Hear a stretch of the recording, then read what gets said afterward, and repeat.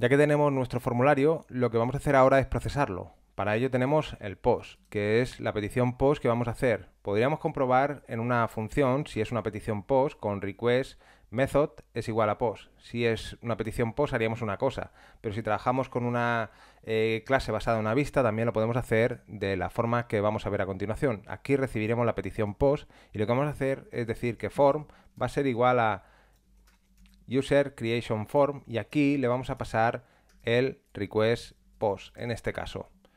De esta forma estamos recibiendo aquí los parámetros que estamos enviando vía post, los datos que estamos enviando desde el formulario.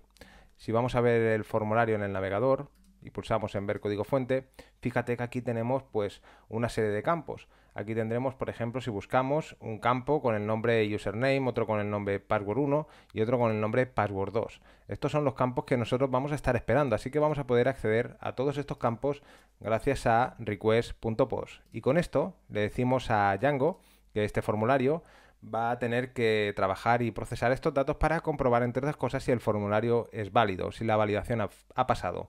¿Cómo lo podemos hacer? Podemos hacer un if, if espacio form.isValid. Dos puntos. Al igual que cuando definimos una clase o una función utilizamos los dos puntos, cuando hacemos un condicional también. Y aquí abajo es donde vamos a aplicar la lógica que necesitemos. En caso de que no sea válido, pues vamos a hacer otra cosa. Pero primero debemos trabajar aquí. Por lo tanto, si el formulario es válido, vamos a decir que usuario va a ser igual a form.save. Recordemos que al principio, cuando trabajamos con este formulario, dijimos que un formulario está vinculado a un modelo de datos, en este caso al modelo usuario. Lo que está haciendo esto es crear un usuario en la tabla, vamos a venir aquí, outUser. Así que aquí va a crear un registro nuevo cuando el formulario ha pasado a la validación. La validación es aplicada internamente por Django al utilizar este formulario, así que no nos tenemos que preocupar absolutamente de nada. Después vamos a decir que el nombre del usuario va a ser form.cleanit data.get y le vamos a decir que queremos coger en este caso el username. Si hacemos memoria y vamos al navegador, pulsamos en ver código fuente, recuerda que aquí tenemos el campo username, por lo tanto ese es el dato que vamos a estar buscando. ¿Por qué utilizamos cleanitdata.get? Porque muchos tipos de datos nos devuelven datos que no están en una cadena o en un dato que nosotros esperamos para poder mostrarlo. Así que si hacemos esto nos aseguramos de que vamos a coger este valor correctamente. Una vez tenemos el nombre de usuario, que sería el username que ha introducido el usuario en el formulario, vamos a importar eh, una cosa que se llama message. Así que vamos a venir aquí y vamos a decir que from django.contrib queremos importar message, los mensajes. Esto nos va a permitir utilizar sesiones flash.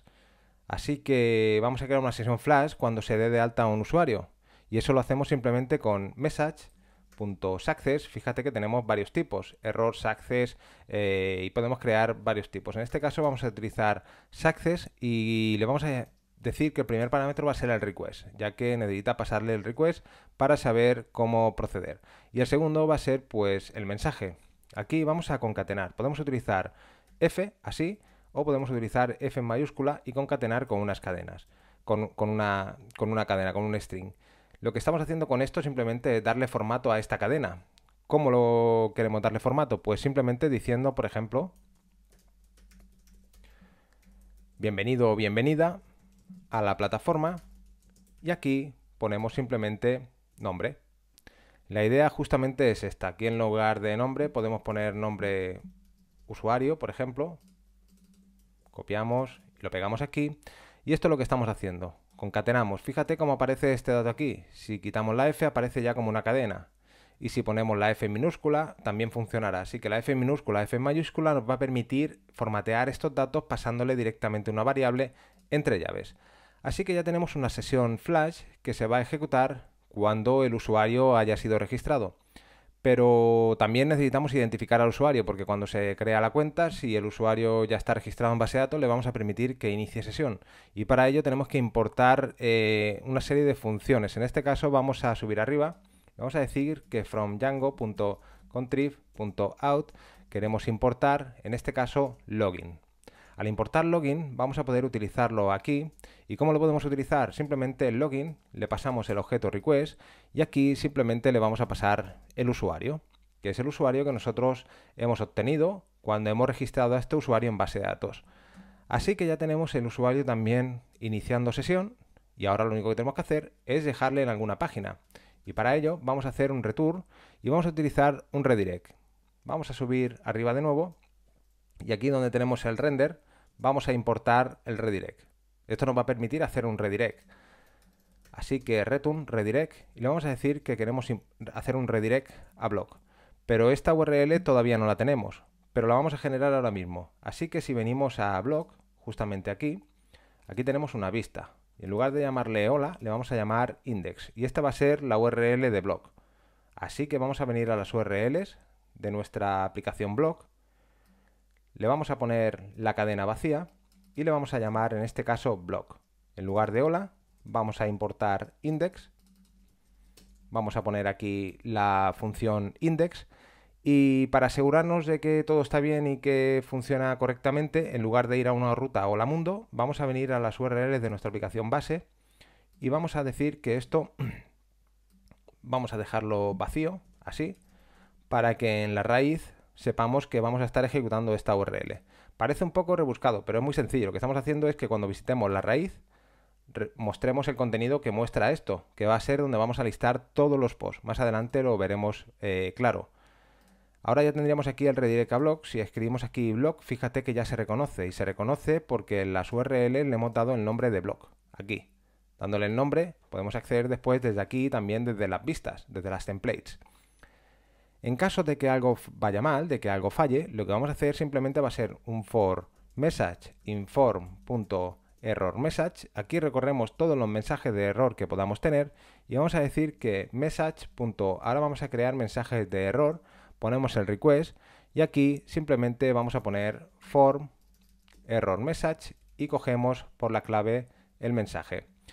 Piensa que cuando estamos procesando, en este caso, eh, cuando estamos recuperando todos los mensajes, aquí tenemos una clave y un valor. Esto sería un diccionario. Y nosotros por lo que hacemos es acceder directamente a esta clave.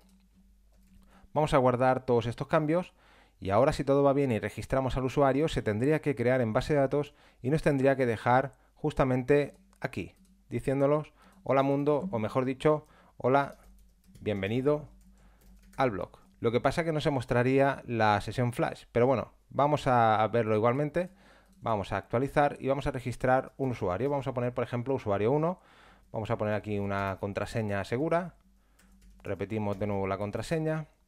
Y vamos a pulsar en crear cuenta. Y date cuenta, hola, bienvenido al blog. Es decir, algo ha tenido que suceder para que se haya ejecutado todo esto de aquí, haya comprobado que el formulario es válido, haya registrado supuestamente al usuario, haya podido generar toda esta información y haya iniciado sesión al usuario haciéndole un redirect a la página de blog, en este caso la vista de blog. Si vamos a base de datos y actualizamos la tabla de OutUser, fíjate que ya tenemos aquí al usuario que acabamos de registrar. Y nos dice que este usuario está activo y la data en la que se ha unido y toda la información que necesitamos conocer está en esta tabla.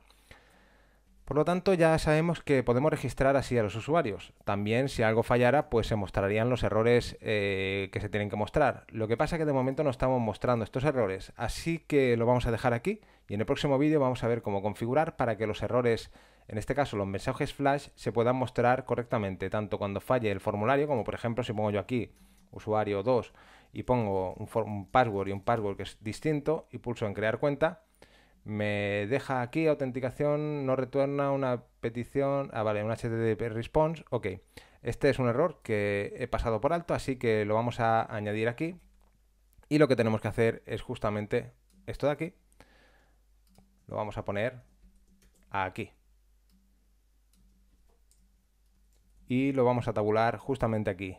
Es decir, si algo falla, también lo vamos a querer dejar aquí al usuario. Así que vamos a ejecutar de nuevo el formulario, actualizamos y fíjate que ahora el formulario no se muestra. No se muestra porque no estamos pasando el formulario.